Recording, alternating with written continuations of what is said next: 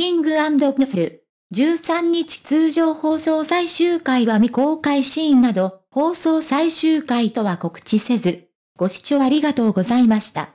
素早く最新情報をもらえるように、チャンネル登録ボタンをよろしくお願いいたします。ありがとうございます。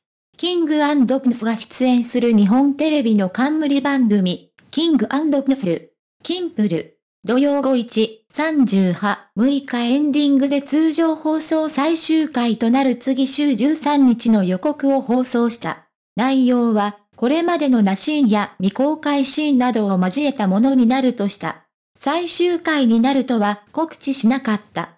次回予告映像では、白スーツ姿のメンバーが VTR をチェックする姿もメンバーの素顔を暴くタレコミ企画も放送されるといい、メンバーが、コアワッツ、マジでは、随、最悪、とリアクションする場面も流れた。同時に、20日のゴールデン2時間スペシャルも告知された。平野志陽26、岸優太27、神宮寺優太25が5月22日に脱退し、ジャニーズ事務所を退場。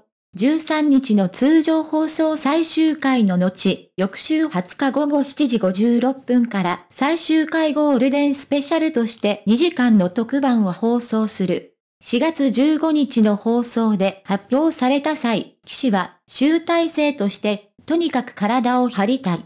とメンバーもめちゃくちゃ意気込んでおります。とコメントしていた。